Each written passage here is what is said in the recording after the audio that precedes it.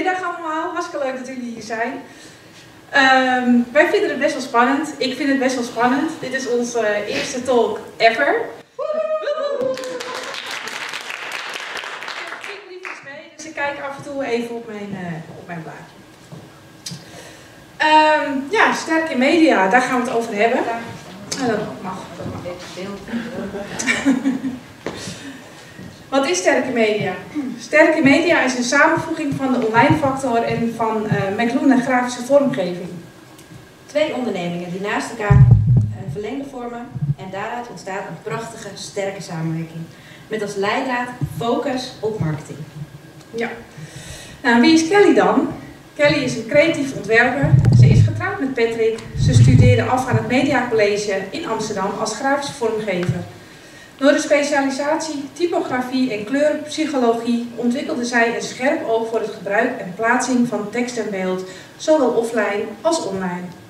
In haar eigen woorden zegt ze: Creatief vormgeven is zoveel meer dan een mooi plaatje. Het is een belangrijke tool voor het creëren van conversie, het uiteindelijke doel van je gehele marketing.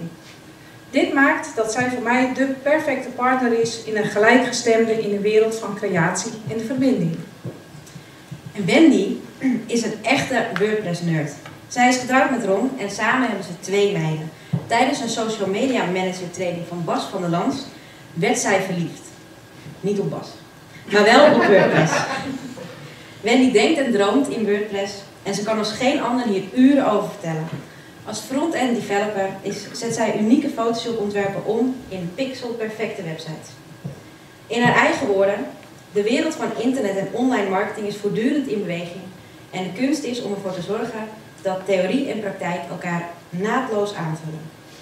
Die gedrevenheid en die passie die maken dat zij voor mij een geweldige spanningspartner is en een uniek verlengstuk van mijn kennis.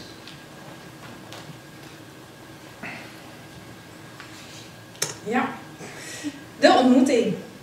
Wij ontmoeten elkaar online via een collectief van ondernemers in de marketingbranche.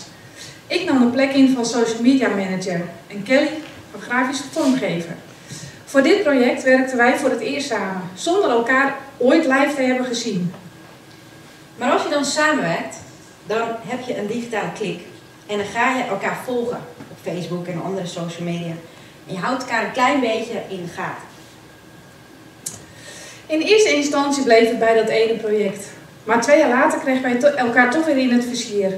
Inmiddels was er bij ons beiden veel veranderd op zakelijk gebied. Ik was omgeschoten van social media manager naar WordPress, webbouwer en Kelly was uit haar loondienst vandaan haar eigen bedrijf opgestart. Van zo nu en dan een chatje op Facebook kwam het tot een echte live kopje koffie. Om te sparren over het ondernemerschap en over samenwerking. We raakten aan het praat over onze werkzaamheden en dat we een aanvulling op elkaars diensten zijn. Wij dachten namelijk altijd, wij doen exact hetzelfde. Vooral op werkgebied denken we wel heel erg hetzelfde. En dat is best wel uniek. Onze vaardigheden zijn anders, maar ze sluiten naadloos op elkaar, op elkaar aan. Mooier dan dat kan eigenlijk niet. Ja, toen besloten we de proef op de som te nemen en gewoon een project samen te gaan doen. Ieder vanuit ons eigen kantoor, op afstand, maar wel samen. En dat bleek een schot in de roos. We kwamen erachter dat we dezelfde mindset hebben. En dat we door samen te werken veel plezier hebben in ons werk en tegelijkertijd onze klanten veel beter van dienst kunnen zijn. Vanuit onze, allebei ons eigen kantoor, Wendy in een verzamelgebouw en ik vanuit huis, ontstond vooral bij mij de behoefte om buitenshuis te gaan werken. Voor meer focus en meer structuur. Met wel met voorwaarde dat ik dat niet in mijn eentje wilde doen, want in mijn eentje kan ik net zo goed op mijn slaapkamertje blijven zitten. Toen Wendy hiervan hoorde, schreef ze mij een ware liefdesbrief. We hebben gezocht in de e-mails, maar we konden hem niet meer vinden, anders hadden we eruit gequote. Maar hij was echt onwijs lief. En de essentie van het bericht was, zou jij met mij willen samenwonen? A.k.a. een kantoor willen delen. Ja, en zo kwam van het een het ander. In december 2016 kregen wij de sleutel van ons nieuwe huis. Kantoor aan de Galileistraat in Herengewaard. Dit intensiveerde onze samenwerking enorm. Maar ja, praktisch gezien is het houden van twee bedrijven, bedrijfsnamen, bedrijfscommunicatie naar buiten niet heel handig. Het schepte heel veel verwarring bij de doelgroep maar ook bij onszelf.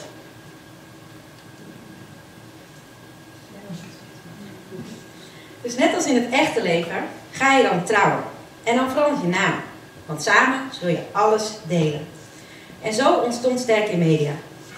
Dat geeft niet alleen voor ons, maar zeker naar onze klanten toe een duidelijke focus. Alle marketing onder één dak. Een krachtig mediabureau waar je terecht kan voor al je marketing.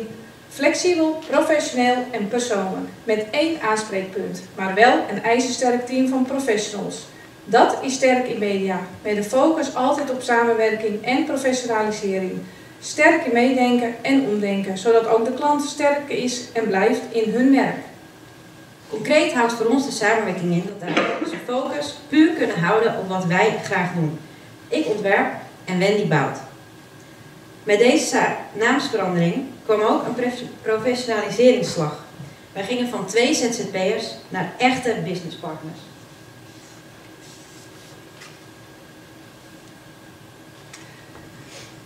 Ja, wat doen we dan? We doen vooral waar we goed in zijn. We hebben heel veel plezier in ons werk, soms iets te veel plezier misschien. We doen geen dingen die we eigenlijk niet leuk vinden. We leren heel veel van elkaar en ontwikkelen daardoor onszelf op persoonlijk en zakelijk gebied. We werken samen met professionals, ieder in hun eigen vakgebied. En dat resulteert voor onze klanten in websites die altijd een uniek ontwerp hebben.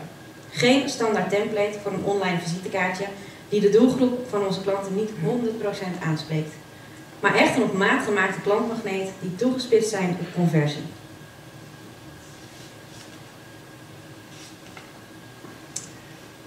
Ja, dan ben je getrouwd en ja, huisje, boompje, baby, baby, beestje. Geen baby hoor. In de zomer van 2017 kreeg ik een sollicitatiebrief in de mail voor de stageplek.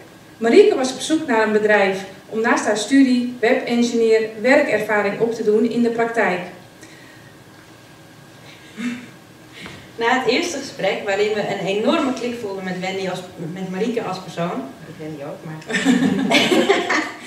en ook een toevoeging zagen voor ons team, voor een back-end developer, begon zij twee dagen in de week op ons kantoor.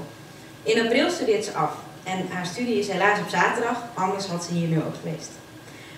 Maar zij zal zich officieel bij ons als partner na haar studie.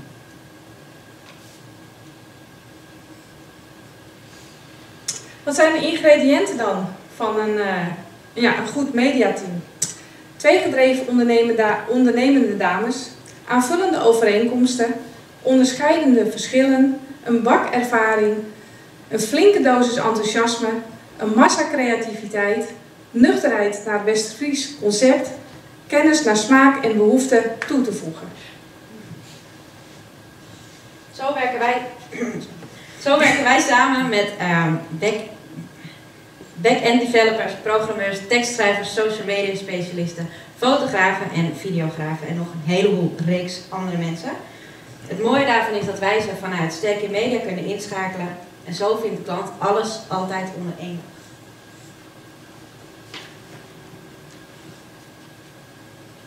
Hebben jullie nog vragen? Wow, eerst even applaus.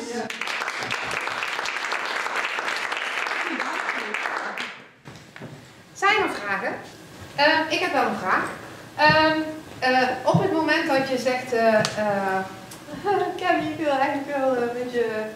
Hoe, hoe, hoe pak je dat aan? Want het is, nou ja, ik heb net op Twitter gezet, het is net als het echte daten. Eén iemand moet de eerste stap zetten. Mm -hmm, dat klopt. Hoe doe je dat? Uh, nou, door die mail hebben gestuurd. Met, ik, ik lag op een gegeven moment in bed en toen dacht ik ineens van... Hmm, als we nou eens zouden gaan samenwonen en wat zou er uit voort kunnen komen? Nou ja, dat legde ik bij haar in de postvak. En daar gingen we over brainstormen. En jij dacht, ja, ik heb toen een hele korte mail teruggestuurd. Nee, dacht ik. nee, ik heb ik, ik, volgens mij ging ik toen echt ook die dag op vakantie of zoiets. Ik moest het was heel druk. Dus ik heb teruggestuurd, ik vind het gaaf, we gaan het erover hebben. Maar dit, hier blijft mijn antwoord nu even bij. Zoiets was het. Uh, ja. Omdat het echt een, een niet goede periode... Ja, het was wel een goede periode, maar ik, het was heel druk op, mij, bij mij op dat moment. Dus ik heb het heel even geparkeerd. Maar mijn eerste gedachte bij het lezen van de mail was al... Ja, dit is gaaf! en toen, uh, laat. Dat, nou, cool.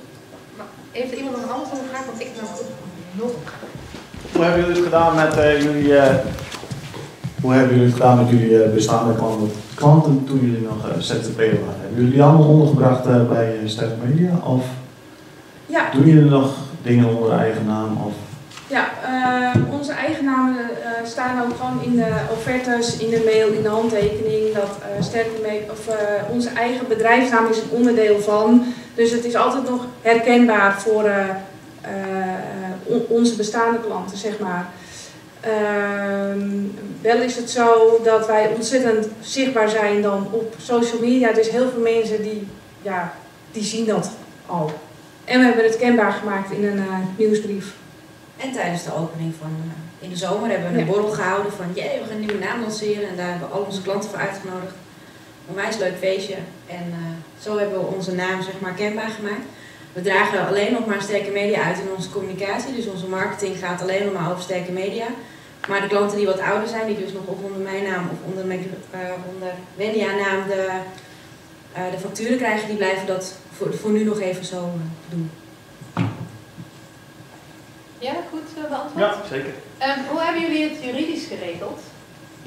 Want zijn jullie ook getrouwd als in met contract? En... Geregistreerd partnerschap?